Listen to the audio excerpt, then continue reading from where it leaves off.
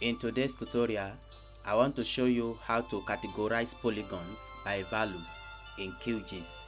When you have different feed of an event and you want to represent each polygon by the values or quantity of values it carries. So to do that, this is uh, a, a bunch of polygon I have and if I open the attribute table we can see different fields we can see the population density you can see population different field. If you go to field and collect data let's say incidence of of disease or any value you collect for each of the area or polygon.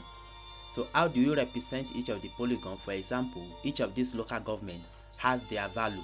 How do you represent each of the local governments with its own quantity or value.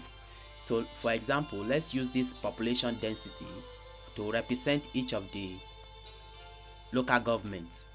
So to do that, right click the layer and open the properties. Then come under style. Depending on the version of QGIS you are using, in your own it can be symbology. So but this is the same icon that represents it so come under style then come here. Instead of single symbol click on the drop down and click on categorize. Then the column you want to use to categorize click on this drop down. So we want to use this density population density. Then here choose your color ramp. Click on the drop down and choose your color ramp.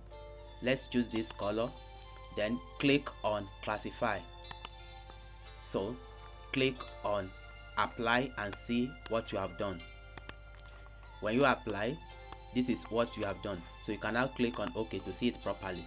So which means the polygons are represented or are given hue of color based on the quantity of values you have used to represent it to appreciate it better you can go back to the properties and label it so that you can see the quantity represented by each of these color hue then come to label.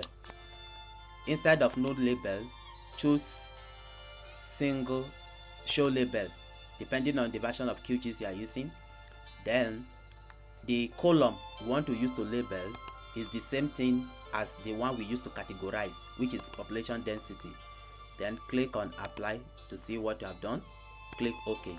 So you can see that the higher the value the thicker the color. So you've been able to represent each of the polygon by the value it has. So this is how to categorize polygons by quantity or value. Thank you for watching